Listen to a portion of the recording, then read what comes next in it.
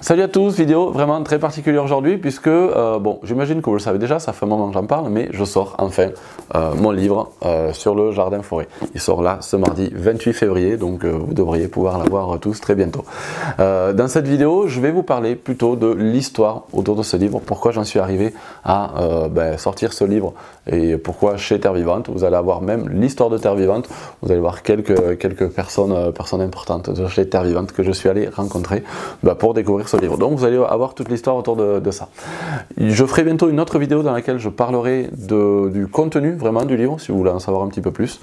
Et puis plus, tard peut-être des lives euh, pour en parler aussi si vous avez d'autres questions là-dessus. Alors autre petit truc, j'en parle ici aussi, euh, si vous avez déjà vu ce livre ou si, bah, si vous me connaissez, que vous aimez bien le travail que je fais et que vous avez envie de participer à la diffusion euh, de ce livre, vous pouvez aller dans n'importe quelle librairie déjà pour le commander si ça vous dit, mais certaines librairies ne n'ont pas ce livre-là, puisque Terre Vivante a un réseau de communication, certaines librairies avec lesquelles ils sont en contact, mais pas toutes. Donc vous pouvez aller, vous, dans n'importe quelle librairie, leur parler de ce livre, hein, vous leur donnez le titre, hein, le guide Terre Vivante du Jardin Forêt. Et donc si ça vous dit, voilà, vous pouvez leur proposer de le commander pour le mettre en vente sur leur étal. Allez, et eh ben du coup là, on va partir à Metz, donc dans l'Isère, découvrir le centre, euh, le centre écologique Terre Vivante, la maison d'édition, tout ça, tout ça. Allez, c'est parti.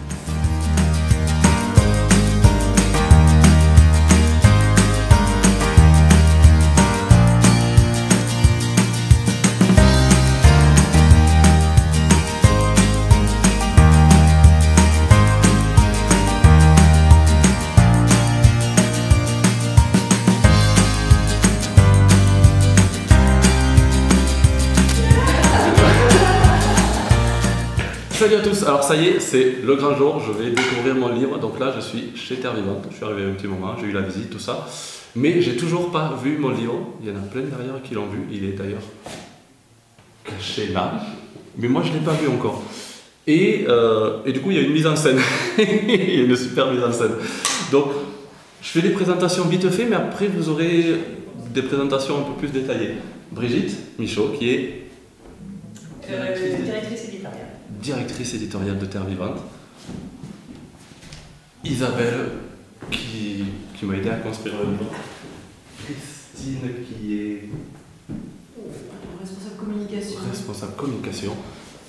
Et Corinne, oh, j'ai tous les prénoms du premier coup, qui, euh, ben on vous racontera après. Donc, toi, tu fais quoi, Terre Vivante je travaille, je travaille au service commercial. Voilà. Mais elle a eu un rôle particulier dans l'histoire du livre, ça, on vous racontera après. Et donc là, qu'est-ce qui va se passer?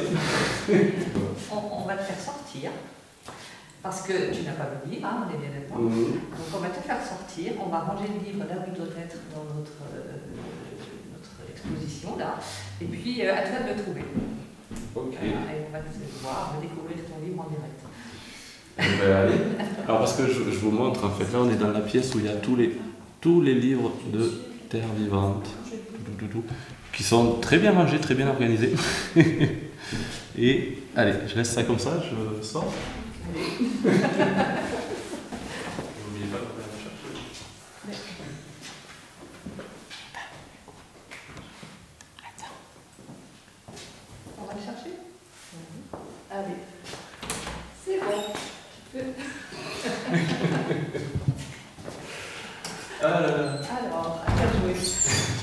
D'habitude, quand je fais des vidéos, je sais ce que je vais faire, c'est carré.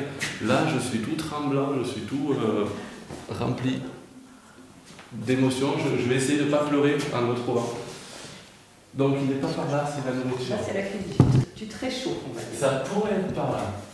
Ça pourrait être par là ou ça pourrait être par. T'es tiède, en fait. Tiède. C'est vrai? Ouais. Ah non, là, C'est sûr que ça sera par là. Là, tu te réchauffes. Là, tu te réchauffes, ouais. Ah, j'ai vu. ah, c'est On est d'accord que plus tard, il sera par là. Il est gros. Et j'avais pas imaginé avec la couverture rigide comme ça. Oh, j'en tremble pas en plus.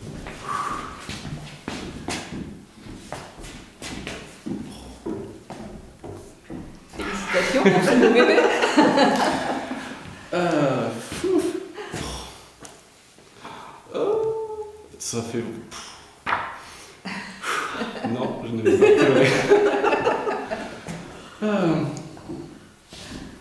Ah là là. Je peux faire, j'ai envie de faire un truc. Je vais faire dans cet endroit-là. Je peux. Merci de ta confiance.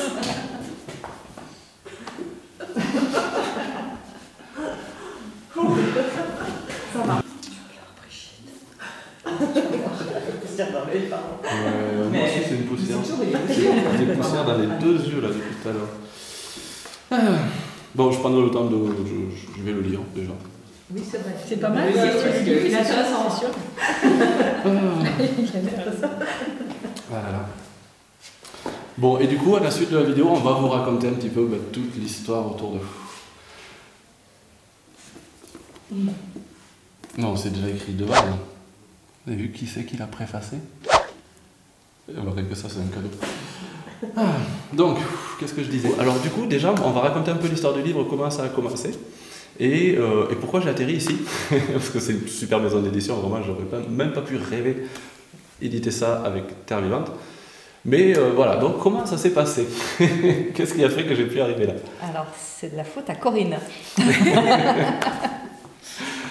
Eh bien, en fait, euh, je regarde euh, pas mal de vidéos euh, jardin. Ah, Je suis quelques youtubeurs, dont Rémi Kulik, le jardin des merveilles. Et voilà, je regardais cette vidéo. Alors, c'était en, c'était en 28 mai mai. 1900. 1900. le 28 mai 2021. C'était au mois de mai, euh, 21 exactement, tout à fait. Ouais. Et donc, euh, au cours de cette vidéo, tu parlais, tu répondais à des questions. Enfin, tu, tu répondais à des questions. hmm. Alors c'était, euh, soit c'était un live, soit c'était une FAQ, mais plutôt un live. hein. C'est un live, je crois. Ouais, Je- parce que je crois pas avoir dit ça dans une FAQ, parce que... Alors pardon, je t'ai coupé, mais c'est, moi je rêve d'écrire un livre depuis longtemps. C'est ça, euh, c'est ce que tu disais. Mais je tu crois disais. pas l'avoir dit dans une FAQ, c'est vraiment le genre de truc que j'ose pas trop dire comme ça, mais sur le live, euh, c'est sorti. En tout cas, voilà, tu as dit que tu souhaitais écrire un livre et tu as précisé avec une maison d'édition éthique. Hmm. Donc là, moi, tout de suite, je me suis dit, bon, bah ça, c'est pour nous. Bingo, c'est pour nous. C'est pour nous. Il n'y a qu'une maison d'édition qui peut éditer ce livre, c'est Terre Ah, Donc, Ouais. euh, j'ai immédiatement passé un mail à Brigitte en lui disant Est-ce que tu connais Rémi Kulik, etc. J'ai vu qu'il disait ça. Qu'est-ce que tu en penses Donc, euh, voilà. Alors, euh, moi, je te connaissais déjà un petit peu. Je t'avais un petit peu dans le, dans le collimateur, entre guillemets. J'étais déjà Ce repéré. gars-là, il y a du potentiel. Mais, mais voilà, et Ah puis bon, j'en étais là. Et puis euh, effectivement, quand Corinne m'a dit ça, bah, je, d'abord je suis illico à aller voir ta vidéo. Et puis je t'ai appelé dans la foulée, je crois. Et euh, parce que sur mes Mhm. petites notes là que j'ai relues, euh, on, a, on, a, on s'est parlé le 1er juin. Donc tu vois, c'était deux jours après. Ok. Et, Ouais. euh, et voilà, et quand on, enfin, en tout cas, moi, quand je t'ai appelé, j'avais pas encore vraiment d'idée du sujet. ou- enfin, c'était une prise de contact, Ah, une ah oui, pas de contact. peut-être pas la première fois. Oui, Je parce que c'est arrivé assez vite quand même le sujet jardin C'est arrivé vite, mais la première fois qu'on s'est parlé, c'était bon, évidemment, c'était une prise de connaissance, Ouais. etc. Et euh, moi, j'avais de mon côté euh, envie de faire aller sur la forêt, la forêt jardin depuis longtemps, mais euh, je ne savais pas encore, encore que ce serait avec toi. Ouais. Et c'est en discutant que bah, finalement, ça s'est imposé euh, comme une évidence. Waouh, bah ouais. Voilà. Moi, j'avais pas du tout prévu d'écrire sur ça au début. Oui, Sur oui, les voilà, me plantes, sur un truc Ouais, peut-être un peu plus bateau. ouais. Et quand tu m'as dit jardin forêt, ou euh, enfin, je ne sais même pas comment tu l'as appelé cette fois-là, mais. Et je me suis dit, mais oui, mais oui. Et alors, il y a un truc que tu dis, mais tu as vu qu'il y avait du potentiel. Moi, perso, quand on me dit ça, bon, ça, c'est flatteur, hein, c'est génial, mais moi, je m'estime pas meilleur jardinier que plein d'autres. C'est quoi le potentiel Le potentiel, c'était la, la pédagogie, la façon, la, la façon dont tu communiquais euh, ton Ah. enthousiasme, ton savoir, tout ça, c'était hyper clair, hyper positif. Euh, Enfin, dit, ce- vraiment, euh, on voit tes paroles quand on regarde tes vidéos. Donc, euh, Ben ouais, mais c'est ça. Tu te Ouais. dis, ce gars, il parle bien, du coup, ça veut dire qu'il peut écrire un livre. Ouais. Ok. bah, finalement, ça a fait. Il parle bien et puis c'est présenté très clairement en Oui, fait. oui. C'était très pédagogique. très- Ok. Ben, génial.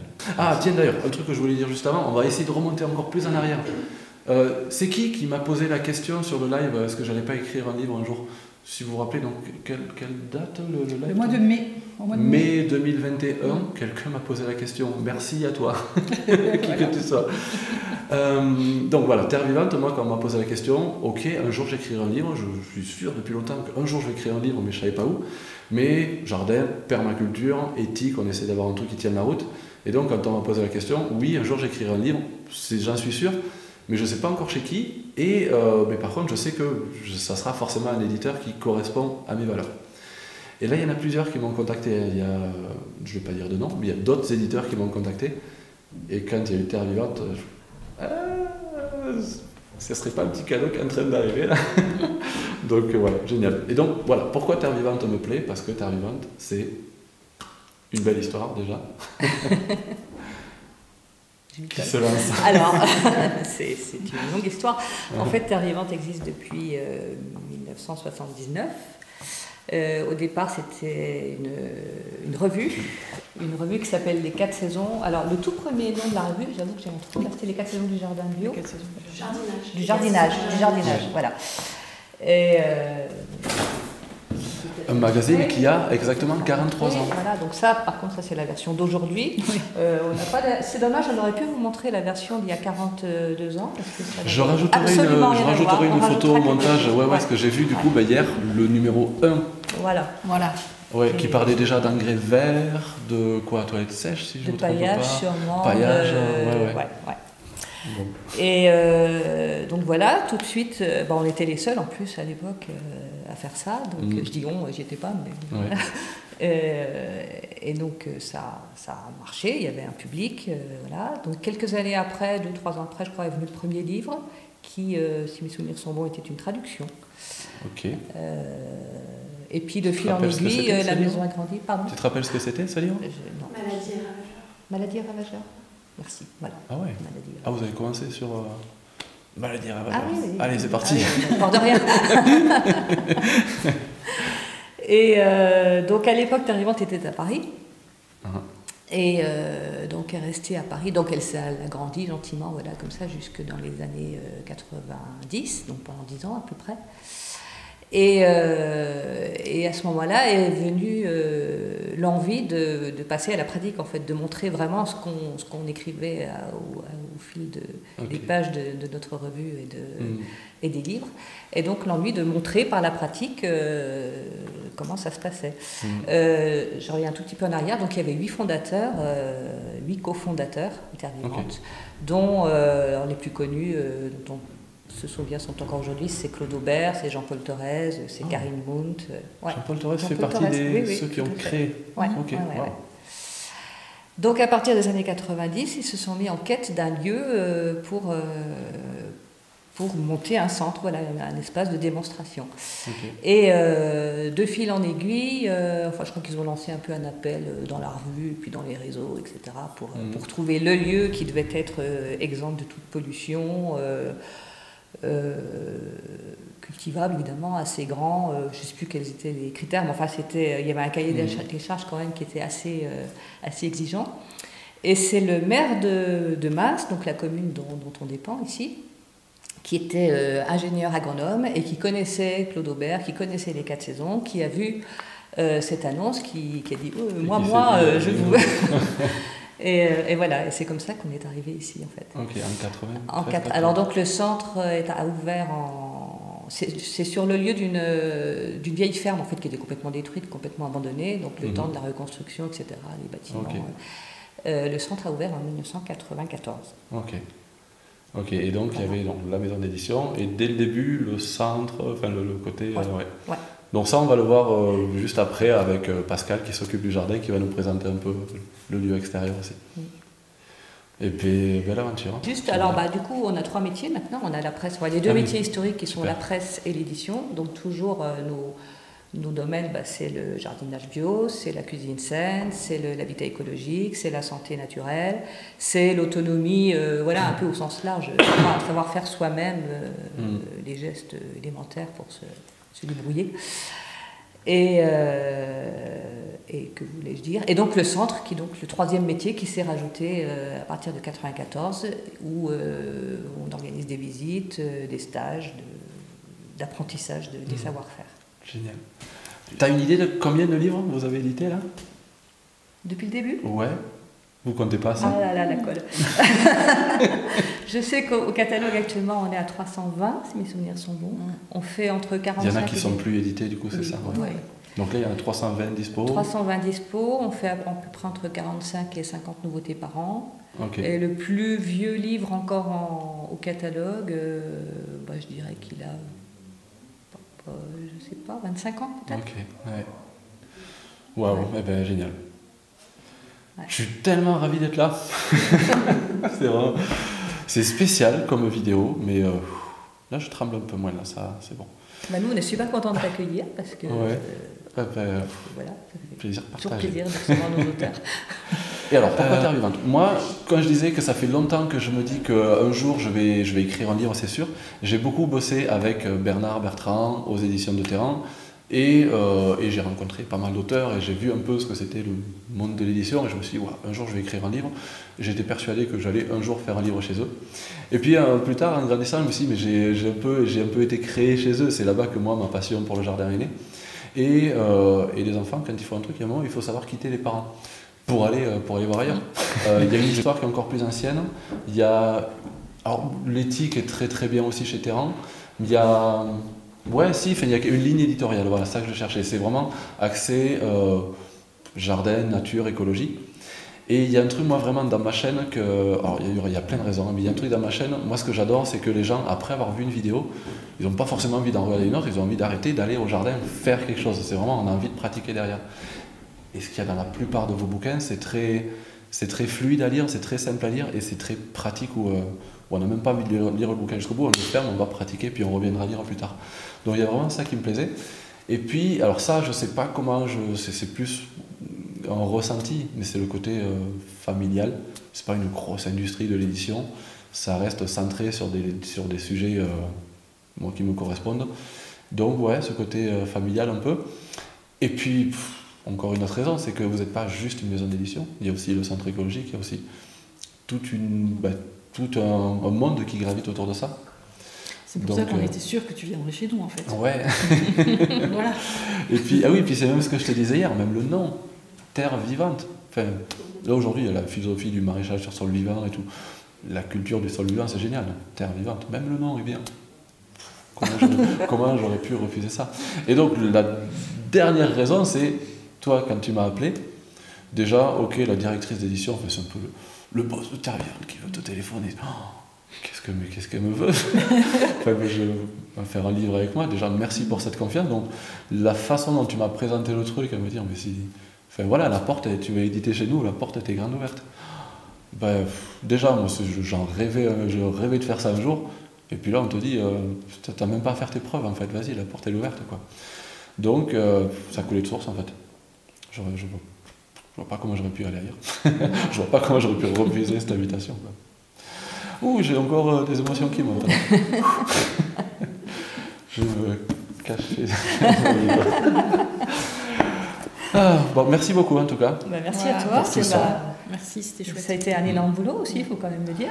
Ouais, toi, ouais, ouais, ouais, ouais. Là, c'est un peu l'aboutissement de un an et demi de travail, mais d'une intensité que je, je- alors j'imaginais pas du tout ça avant de me lancer. Je, c'est peut-être avec toi que j'en parlais hier, où euh, ok, tu peux écrire un livre. Moi, je donne des cours, je donne des formations, j'écris les cours que je donne. Et je me suis dit, bah, génial, le truc sur le jardin forêt, il est déjà écrit, le livre, faut juste que je mette les trucs dans l'ordre. Mais pas du tout, pas du tout. En fait, il a fallu revoir tout. Le sommaire du livre, donc si vous avez la chance de lire ce livre un jour, le sommaire, j'ai mis un mois, un mois et demi à écrire un sommaire qui a encore évolué après, mais juste à me dire de quoi je parle, dans quel ordre j'en parle, jusqu'où je vais dans les détails. Et euh, alors, des moments promo, hein, mais euh, même quelqu'un qui ne connaît rien, il y a, pour moi, hein, il y a vraiment tout ce qui est là, c'est là maintenant. Je n'ai pas un gros cerveau finalement. et, euh, et tout ce qui est pratique, connaître le sol, connaître la plante, connaître la biodiversité, connaître les successions, connaître. C'est quand même hyper complexe. hein. Et quand j'ai commencé à faire ce truc, à me dire, Oh, mais il va falloir que je rajoute ça et ça et ça, et euh, j'en sortirai jamais. Il y a eu un moment où. Il y a eu beaucoup de moments où j'y croyais pas. Je me dis, mais il sortira jamais ce livre, c'est pas possible, il y a trop de choses à mettre. Il a été raccourci, il a été euh, compressé, on vous racontera avec Isabelle comment on a. C'était un peu un combat, c'est ah mais ouais, il faudrait rajouter ça, ah non, mais il faut raccourcir, ouais, mais on peut pas ne pas dire ça. du coup, euh, eh ben, ça fait une super transition. Je vais vous présenter Isabelle qui a euh, autant que moi, peut-être même plus que moi, participé. Je sais pas, qui de toi ou de moi l'a plus lu ce livre jusqu'à maintenant Travailler, c'est quand même toi. Ouais, bon, je vais vous présenter maintenant Isabelle et vous allez voir. Et donc là, on arrive avec Isabelle, qui est éditrice. Oui. Mais alors, tu peux expliquer vite fait la position que tu as par rapport à Terre Vivante Alors, avant que je dise oui. des conneries. Je- en fait, moi, je suis éditrice freelance, c'est-à-dire que je ne suis pas salariée par Terre Vivante. Terre Vivante fait appel à moi euh, bah, quand il y a besoin, en fait. Voilà. Et je fais un boulot d'éditrice. euh, Ok, et là, il y avait besoin. et là, il y avait besoin. Et donc, Isabelle, c'est avec elle que j'étais le plus en interaction. On a passé des heures et des heures et des heures et des heures au téléphone. D'ailleurs, ça m'a fait bizarre parce que on s'est vu ce matin pour la première fois. Et je ne l'ai pas reconnu vu que je l'avais jamais vu. Alors moi, je que- t'avais reconnu. Ouais, bah voilà, t'as- un avantage. T'as pas une chaîne YouTube, toi? Non. ah non, pas encore. Et du coup, parce que je connais, j'ai l'impression de te connaître par cœur, enfin ta voix en tout cas, on a, on a je sais pas combien d'heures on a dû passer au Ah bah, téléphone, beaucoup, ouais. mais énorme. Et donc, c'est Isabelle qui a. Alors, je fais un petit coucou, un petit merci aussi à Elsa, qui est la première personne qui, a, qui m'a relu et corrigé mes, mes premiers jets, parce que j'avais pas assez confiance en moi pour envoyer mes premiers écrits comme ça brut. Donc, merci Elsa pour cette première relecture. Et du coup, voilà, Isabelle, c'est elle qui a tout relu, tout. non, je vais dire tout, euh, tout remodelé, mais tout structuré. C'est bien dit comme ça, Oui, peut-être tu peut le diras avec tes mots Oui. pour que ça soit plus fluide. Après, ben, tu vas expliquer un peu l'évolution du truc. Où je disais en rigolant que bon, c'était un peu le bordel et toi, tu as réussi à trouver de l'ordre dans tout ça. tu, je sais pas, tu vas raconter un petit peu comment ça s'est passé tout ça? Euh, oui. Euh, alors, euh, d'abord, j'ai pas travaillé toute seule, hein, parce que la restructuration, le remodelage, euh, il s'est fait avec toi et par toi. Donc, Mm. moi, j'ai orienté, euh, j'ai orienté le, le travail. J'en ai fait un petit peu, mais c'est surtout toi qui as travaillé, en fait. Hein. Euh, Ouais. T'as peut-être pas cette impression, mais non, si, j'ai l'impression d'avoir travaillé. bah oui, ouais. ouais. T'as beaucoup travaillé avant que moi je prenne le livre en charge, et puis Mm. pendant aussi, en fait. hein. Et, ouais. Voilà. et un de ces boulots, ça a été, pardon, je, Vas-y. Un de ces boulots, ça a été de. Moi, mes premiers écrits, ça aurait dû faire un livre deux fois plus gros. Et un de ces boulots, ça a été de réduire un petit peu, de, bah, de restructurer, de, de tasser, en fait, j'ai l'impression, Ouais, plus que de ouais. supprimer, de tasser pour que ce soit. que toutes les infos, j'espère que ça va pas faire trop de bruit dans le micro là, mais pour que toutes les infos importantes puissent passer, mais sans qu'il y ait de redites. Mm. Je... Ouais, non, c'était vraiment un super boulot. hein. Oui, c'est vrai que le livre, quand il est arrivé enfin, sous format Word, euh, avant d'être euh, monté, il était assez- le, le texte était assez conséquent. Il Ouais. était trop gros en fait pour faire un livre en un seul volume. Mm. Donc il a fallu retravailler le texte. et puis euh, et puis il y a aussi ta manière de fonctionner qui faisait que bah, dans certaines parties sur une- un, thème, un thème, une thématique, euh, bah, tu en amenais beaucoup d'autres qui étaient en lien. Et donc Mm. ça faisait des, des- des gros volumes déjà de texte et puis des, des choses qui partaient un peu dans tous les sens, même si Ouais. c'était très logique pour toi. Donc euh, on a, on a pas tassé, c'est quand même, c'est quand même bizarre de dire ça, mais on a, on a réduit, on a résumé, on a, Mm. voilà, on a enlevé euh, voilà, le texte superflu entre guillemets. Ouais. Euh, bah, déjà d'un point de vue pratique pour réduire le Mm. texte et puis aussi pour le rendre peut-être plus, euh, plus accessible pour, pour le lecteur en fait. Voilà. Et ouais, mais c'est vrai que c'est un thème qui est pas évident parce qu'il y a beaucoup de Mais choses. oui. à- Enfin, c'est complexe, il y a beaucoup de choses. Et tout est vraiment lié. Et du coup, c'est pas évident de prendre les choses dans l'ordre, donc faut forcément faire des allers-retours. Et du coup, euh, ouais, Beaucoup d'allers-retours. Énormément. beaucoup de renvois sur d'autres parties. Euh, ta connaissance du jardin-forêt avant de lire, euh, enfin avant de travailler sur ce livre? Alors, du jardin-forêt, euh, j'avais pas de connaissance du jardin-forêt. Ouais? Quand j'ai vu arriver ce thème, le, le titre de ce livre, je me suis dit waouh, euh, qu'est-ce que c'est? Voilà, je, non, je n'avais aucune idée. Mhm. Je sais ce que c'est qu'un jardin, je sais ce que c'est qu'une forêt, Mhm. mais les deux rassemblés, je voyais pas. Ouais. Donc euh, oui, oui, je me suis un peu renseignée et puis en même temps, je me suis dit non, je vais, euh, je vais me plonger dans ce livre-là Mhm. et puis voir au fur et à mesure ce que ça donne et, et- et- et me mettre en fait à la place d'un lecteur qui découvre aussi. Voilà, je, je- donc euh, voilà. Il y, a- il y a un truc, et du coup, c'est ça que je disais que Ouais. j'allais- te sortir, c'est euh, que tu m'as dit, et moi qui m'a beaucoup touché, et que je pense que j'espère que ça fera ça comme effet sur les gens qui le liront. Où euh, tu m'as dit qu'à force de lire tout ça, quand tu voyais une forêt, quand tu regardais une forêt Ah oui. aujourd'hui, tu les voyais plus pareil. Oui, absolument. Tu veux développer un peu sur ça? Comment c'est quoi la différence? Qu'est-ce que tu vois maintenant moi, que tu voyais pas j'ai une, euh, j'ai une, euh, une connaissance de la forêt parce que quand j'étais plus jeune, euh, petite, je, voilà, avec mes, mes, mes parents, mon père, on allait souvent en forêt parce qu'il habitait, enfin, on, on habitait près d'une forêt, il travaillait dans une forêt, etc. Donc naturellement, euh, on allait, on allait se promener, on observait, on écoutait, on sentait Mhm. les odeurs, on courait dans les, dans les flaques, enfin voilà. Mhm. J'avais cette approche-là de la forêt. Mhm. Pour moi, une forêt, c'était quelque chose de figé. Oui. une forêt, c'est là, et ça a toujours été là et ça sera toujours là, Mm. sauf si on la coupe. Il y a une chose qui m'a frappée, en fait, euh, qui m'a sauté aux yeux, c'est la notion de lisière, que Mhm. j'ai beaucoup. euh, Enfin, voilà, ça s'est imposé à moi, euh, cette notion de lisière. Pour moi, la lisière, ça faisait partie de la forêt, c'était une zone qui ne bougeait pas. Voilà, qui était la transition, le figé entre le non-forêt, le- les champs, Ouais, et la forêt. Et en fait, cette lisière, elle n'arrête pas d'évoluer, de bouger, Mhm. de faire, si on n'y touche pas, de faire avancer la forêt sur, Ouais. sur, le, sur les, les- les champs, les prairies, etc. Et ouais. Et euh, et il y a une chose très importante dans les lisières que, qui maintenant je, qui, enfin, que, que qui m'a frappée, c'est la notion de ronce et de buissons euh, épineux. Ouais, la friche armée selon Voilà. J'adore Et alors ça, euh, euh, pour moi, une, pour moi des, des ronces, c'est quelque chose euh, qui me casse les pieds, que je coupe, qui repousse, et enfin bref, il y en a ras-le-bol des ronces. Et en fait là, j'ai compris à quoi servaient les ronces et leur utilité fondamentale Mhm. euh, pour la nature d'aller vers ce climax. Merci pour elle. voilà.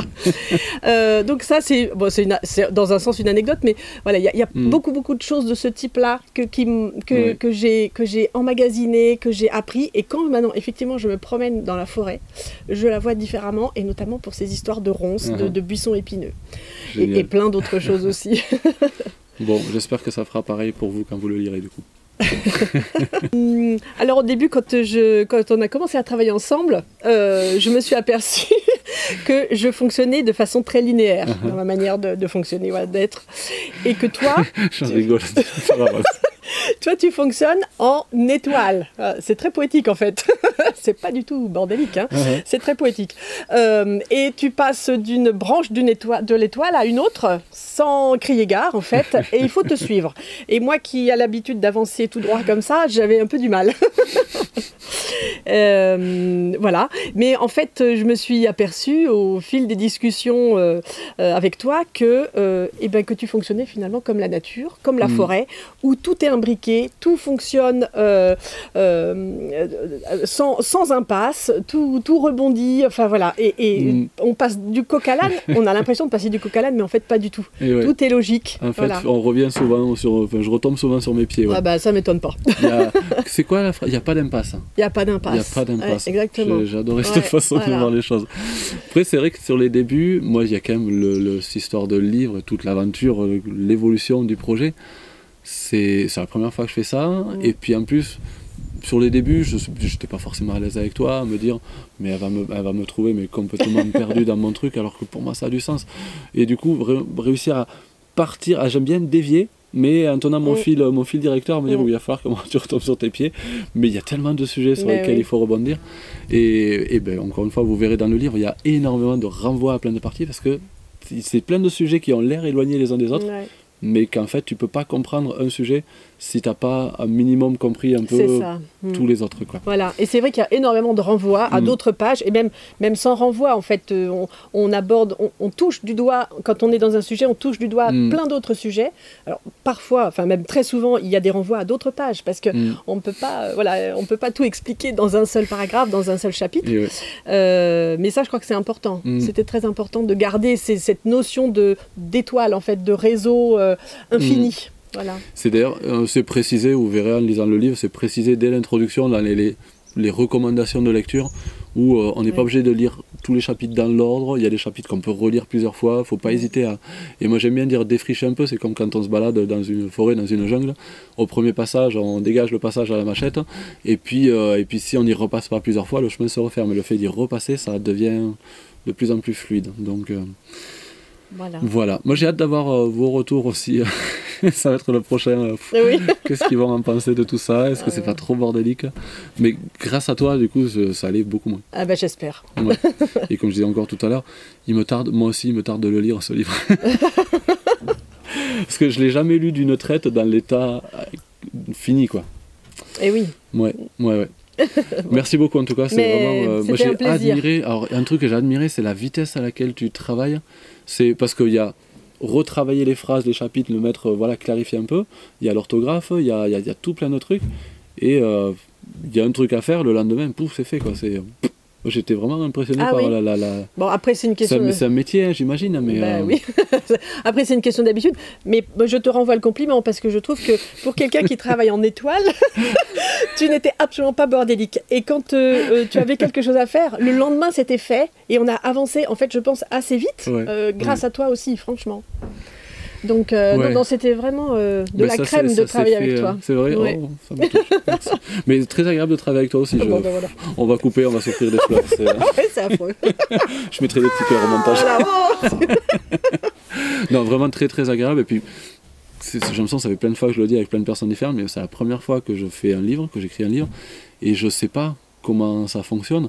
Et moi, je suis allé peut-être un peu vite, enfin, je répondais vite parce que je me dis, mais oh, j'imagine que les autres doivent être hyper réactifs. Et moi, j'ai toujours le stress de me dire, purée, mais on va se dire, mais c'est quoi Il est bah complètement bordélique, ces trucs, ça part dans tous les sens. Donc, euh, ouais, j'ai essayé d'être efficace. J'essaierai de l'être aussi pour les prochains livres. Si, euh, je cherchais Brigitte, mais Brigitte n'est pas là. A un prochain livre, tu diras, j'essaierai de rester stable dans mon efficacité. Bon, merci beaucoup en tout cas. C'était ben, vraiment un plaisir, toutes ces rencontres-là. Euh, merci beaucoup. Merci. Donc, et du coup, là, oh, je ne sais pas si vous voyez, là, on est au milieu du centre écologique. Et le centre écologique, donc, il est entretenu par Pascal, qui est le jardinier ici depuis une dizaine, douzaine d'années. Ben, celui qui va nous raconter ça, on va aller le voir.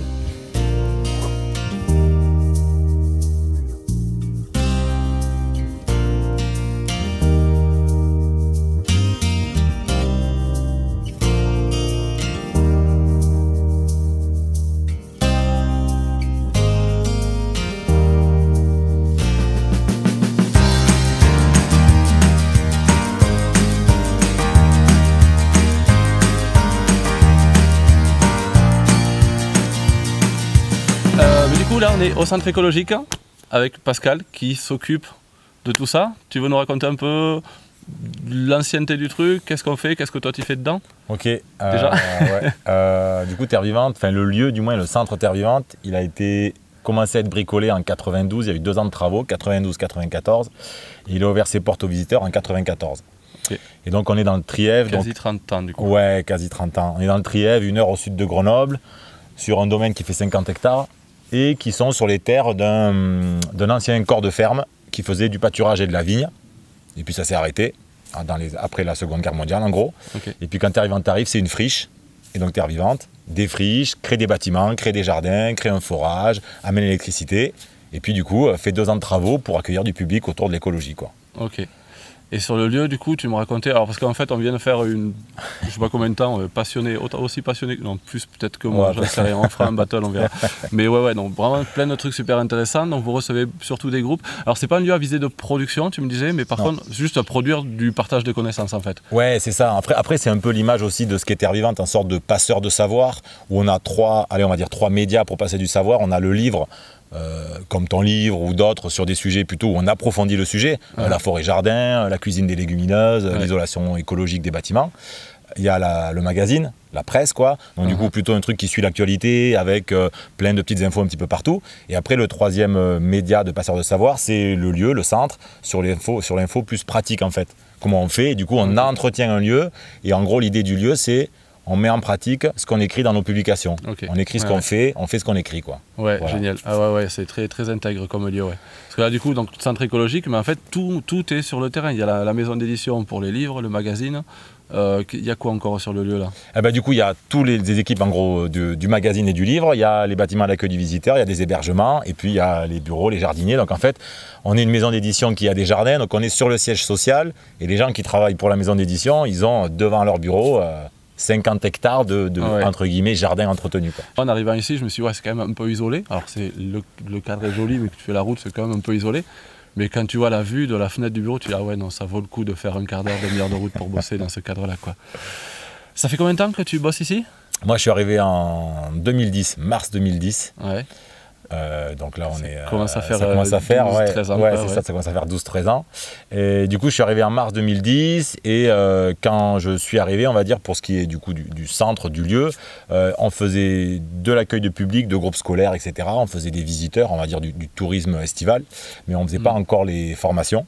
Et moi, quand je suis arrivé, l'année qui a suivi mon arrivée, on a développé les formations. Quoi. Et donc, depuis, sur le lieu, on accueille des groupes, donc des groupes des scolaires ou des adultes, Ouais. des visiteurs estivaux, tu viens avec ta famille, euh, tac, tac, tac, on fait la On visite peut juste se balader. Ouais, juste se balader. Et des formations pour les particuliers ou les professionnels. quoi. Et voilà, et aussi pour les professionnels, ouais. Mm. ouais. Et à côté de ça, alors ça c'est un détail, mais euh, enfin c'est un détail, non, parce que le lieu c'est vraiment péda- pédagogique.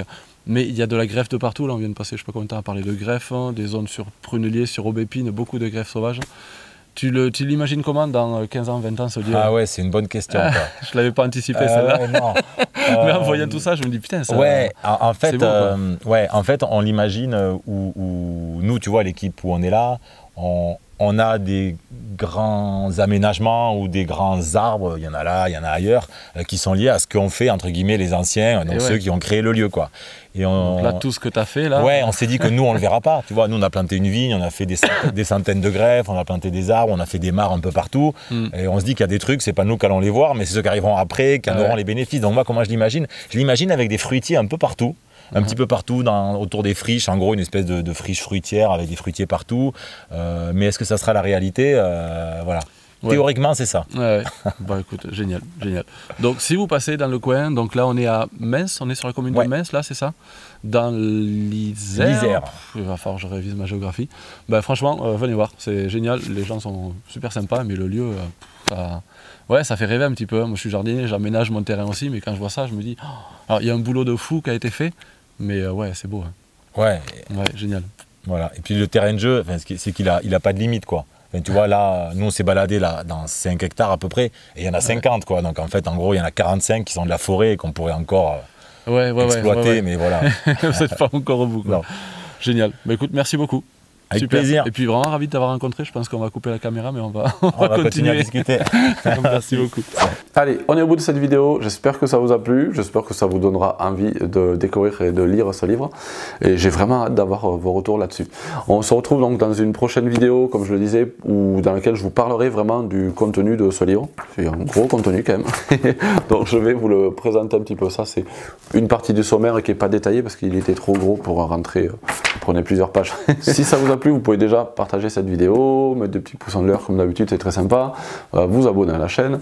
Et si vous voulez me permettre de continuer à prendre le temps de faire des vidéos, vous pouvez aussi me soutenir financièrement en passant par la plateforme euh, Tipeee, euh, en adhérant à la chaîne YouTube. Et voilà. Et donc, comme d'habitude, un grand, énorme merci à tous les gens qui me soutiennent déjà, sans qui je ne pourrais pas prendre le temps de faire toutes ces vidéos. Allez, on, ben, on se retrouve très bientôt pour la suite de l'histoire du livre, et puis plein de choses qui vont arriver là très bientôt. Salut à tous